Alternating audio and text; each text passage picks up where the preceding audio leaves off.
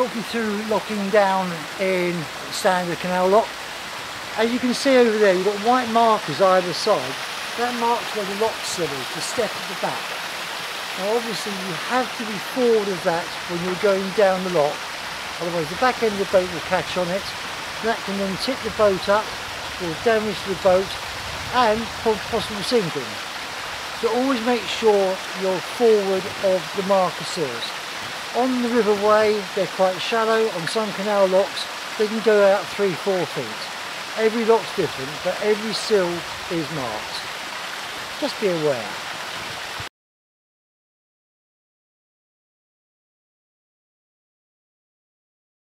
Okay, so we're just approaching a lock, going uphill this time. Things to be aware of. Obviously, the centre line you brought back from the last lock. Hopefully, you've got it on the right side for the lock steps. All locks, most locks these days, will have a set of ladders in the side. If it's too high, easy to climb up using a ladder than it is to get onto the cabin top and then crawl off from there. Tie the boat off with a couple of loops around the bollard just to hold it in place. Shut the rear gates if they're open and obviously have a look around to make sure there's no nothing floating in the lock, no logs and things like that. When you're going uphill, you've got to be aware of the boat drawing forwards onto the top lock gates. So it's good practice to hold it back with a rope, or if there's two of you, one person on the lock gates, one person holding the rope back on a stump. Lift the side up the boat's on only, that way the swirl of water will force the boat into the side and stop it banging about too much. Once the turbulence slows down, you can then open the other side paddle up, which makes the feel a lot faster.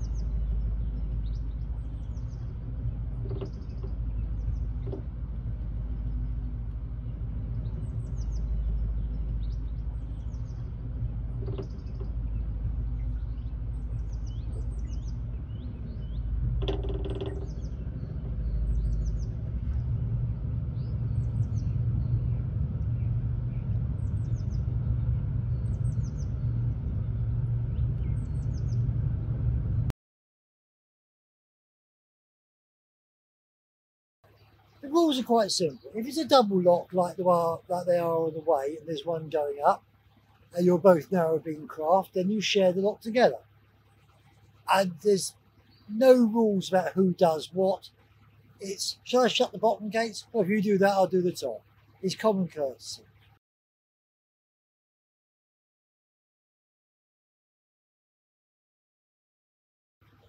If you're going uphill and there's one coming down, and the lock's in your favour, then you go in the lock, you go up. If the lock's the other way around, then you wait at the bottom for him to go through.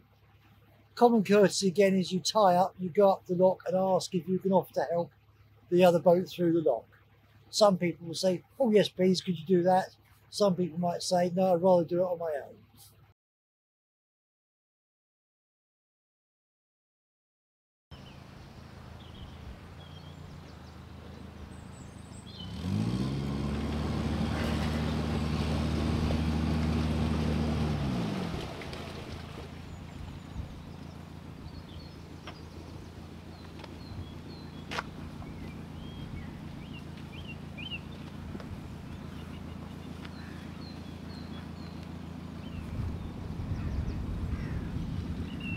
Just let the boat settle down on the stump.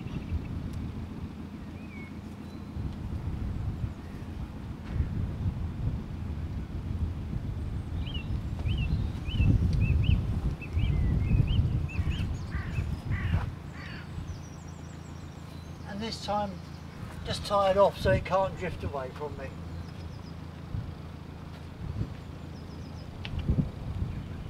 Boat unattended, engine off. Now I'm going to walk down and set the lock up, ready for the boat to come in. Bottom gates are both open on this lock, so I need to go down there and close the bottom gates before we can start filling the lock to get the boat in at the top.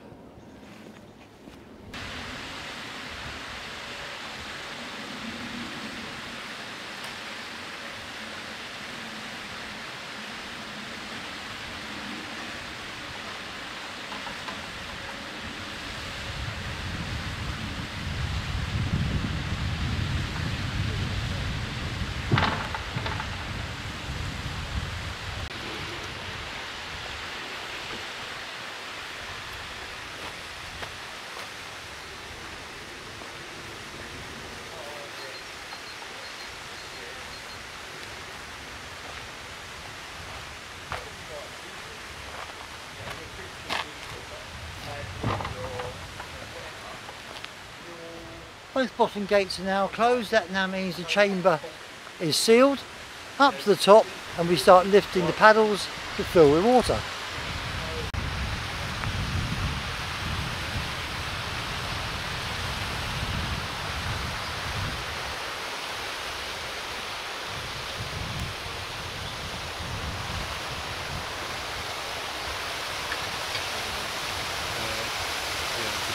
Windlass on the spindle.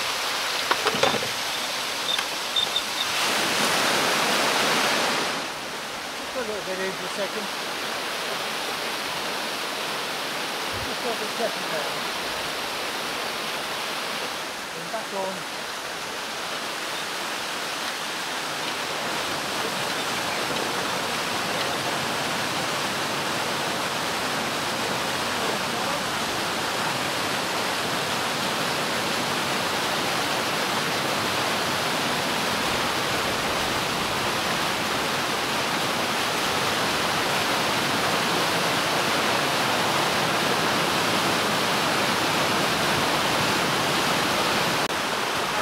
I always take the windlass back off the spindle when you finish winding the paddles up or down.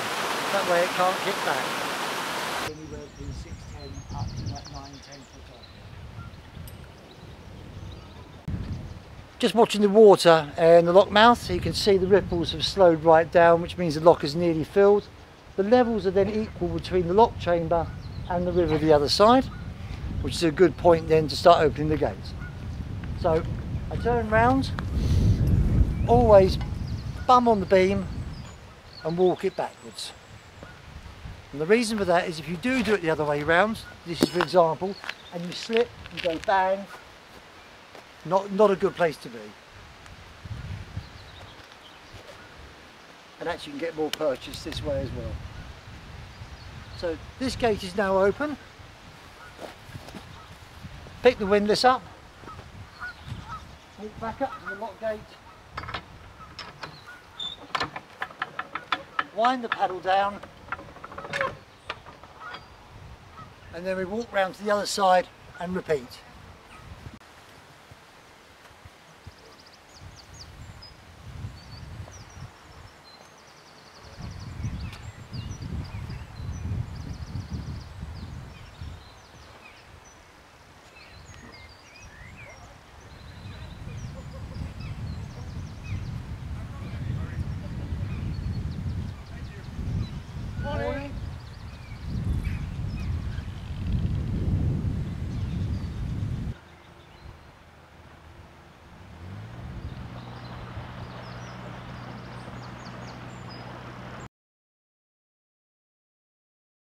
Health and safety stuff around lockside.